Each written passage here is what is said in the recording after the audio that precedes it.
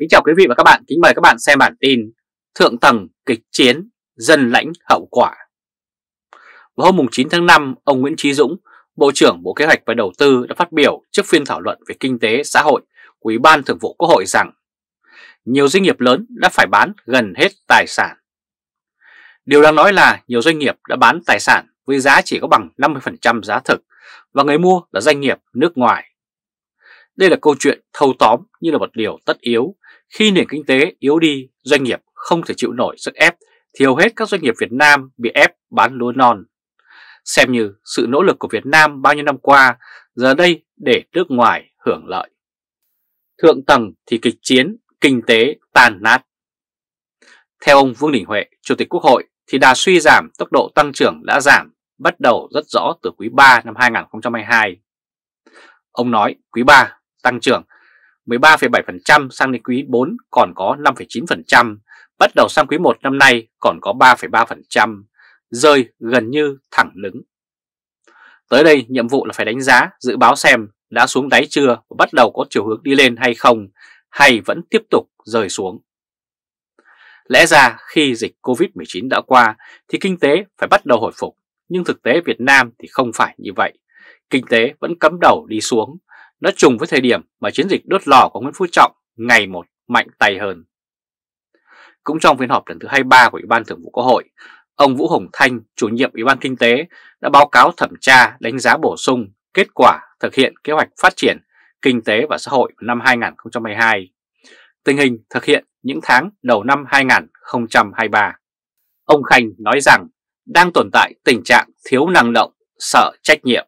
Thực ra cần phải nói thẳng rằng hiện nay cả bộ máy công quyền như bị tê liệt vì tình trạng không dám làm việc và tâm trạng sợ sệt bao trùm khắp nơi từ Bắc đến Nam. Luật pháp nghiêm minh thì người làm đúng không bao giờ phải sợ, nhưng luật pháp tại Việt Nam tuy dối rắm, trông chéo, nhiều tầng nhiều lớp nhưng lại không nghiêm minh. Nó có thể không thấy con voi nhưng nó lại có thể thấy rất rõ con kiến đang cựa quậy. Ai cũng hiểu như thế nên quan chức dù biết mình làm đúng cũng không dám làm vì sợ vu cáo, sợ bị trả thù từ đối thủ. Thượng tầng tại Đảng Cộng sản Việt Nam đang kịch chiến và nhà nước thì tê liệt. Ở nhiều bản tin trước, tờ Thể báo chấm đã phân tích tình trạng sợ trách nhiệm của cán bộ và bộ phận lớn quan chức tại Việt Nam. Nguyên nhân của việc trì trệ không dám làm việc, không dám triển khai bất kỳ chính sách nào khiến bộ máy công quyền bị tắc nghẽn là hệ quả của công cuộc đốt lò của ông Nguyễn Phú Trọng. Tuy nhiên, cả chính phủ không ai dám nói thẳng ra nguyên nhân này vì sợ quyền lực của ông Tổng Bí Thư. Từ ông Thủ tướng cho đến các ông Bộ trưởng đều chỉ nói về hiện tượng mà không dám nói về nguyên nhân. Ước mơ có một bộ máy trong sạch, toàn đảng trong sạch là ước mơ hoang lường của ông Nguyễn Phú Trọng. Bản chất của Đảng Cộng sản Việt Nam là tham lam thì lấy đâu ra một Đảng Cộng sản trong sạch cho được. Việc tự mình độc quyền lãnh đạo đất nước, tự mình tự ý cấm mọi tư tưởng chính trị khác biệt về bản chất là một loại lòng tham khổng lồ. Đảng Cộng sản muốn độc chiếm đất nước, muốn độc chiếm khai thác sức dân nên mới cấm đa nguyên chính trị và đa đảng. Từ lòng tham khổng lồ đó, Đảng Cộng sản xây dựng nên bộ máy cai trị, thì bộ máy cai trị đó có thể không tham nhũng được hay sao? Có thể nói lòng tham của quan chức Đảng Cộng sản Việt Nam là vô độ.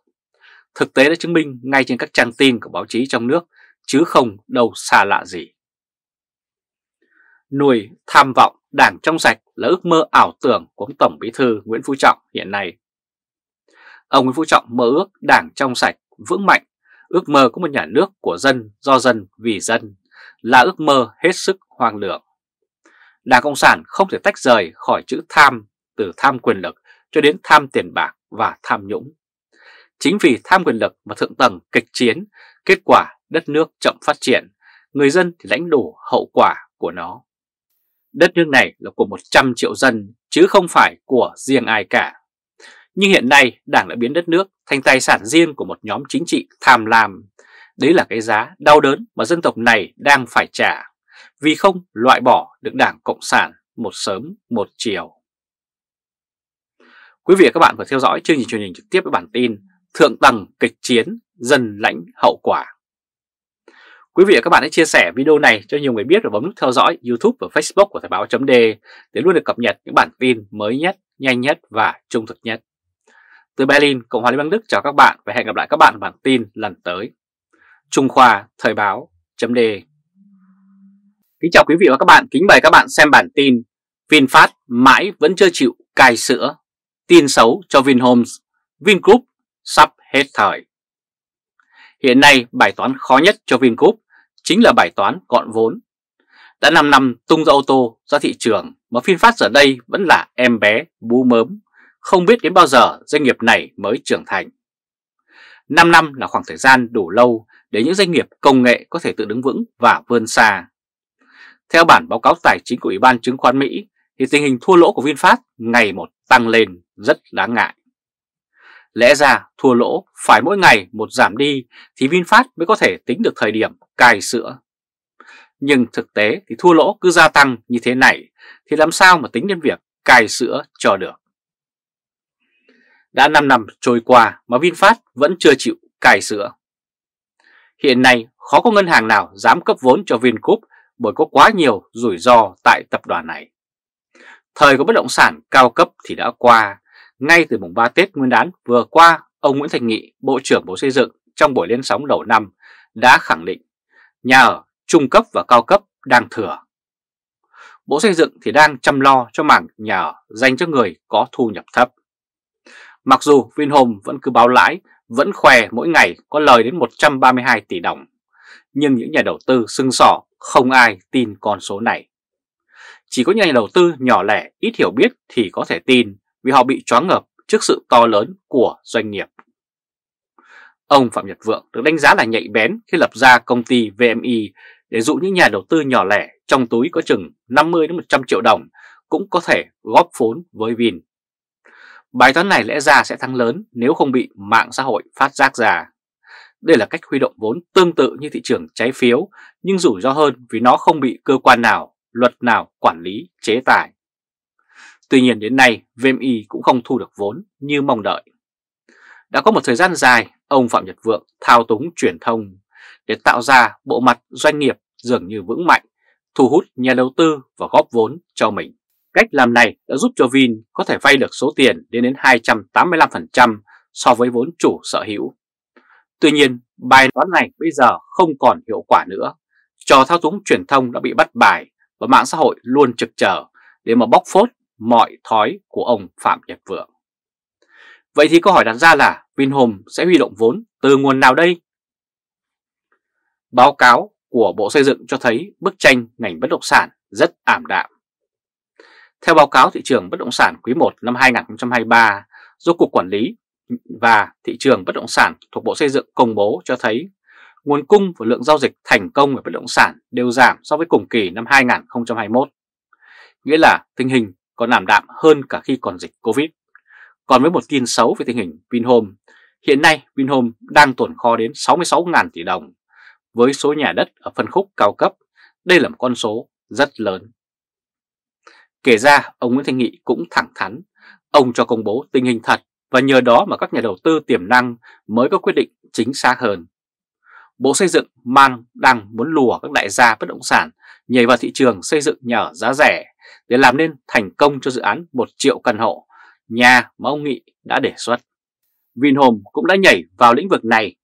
Tuy nhiên, theo đánh giá của một số nhà phân tích cho biết, thì Vin chỉ tham gia vào lĩnh vực này mang tính xã giao với Bộ Xây dựng, với chính phủ, chứ Vinhome không xác định phân khúc này là trọng tâm của họ. Trọng tâm của họ vẫn là nhà ở cao cấp. Có thể những trứng vàng hay là trứng vàng trên giấy đầy. Những nhà đầu tư lão làng thường biết chọn lựa nguồn tin khả tín, họ có khả năng đánh hơi. Bài báo nào quảng cáo cho Vinhomes và bài báo nào là bài viết có điều tra nghiêm túc. Báo chí trong thời kỳ bị quyền tiền sai khiến, nếu khâu sáng suốt thì sẽ bị mắc lửa. Nhà đầu tư ngày nay không dễ bị dễ dụ như trước đây, nên việc huy động vốn đại chúng của Vinhome giờ đây cũng khó khăn hơn rất nhiều.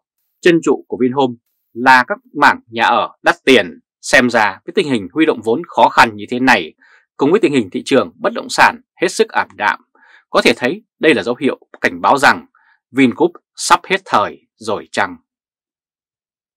Quý vị và các bạn vừa theo dõi bản tin VinFast mãi vẫn chưa chịu cày sữa, tiên xấu cho Vinhome, Vingroup sắp hết thời.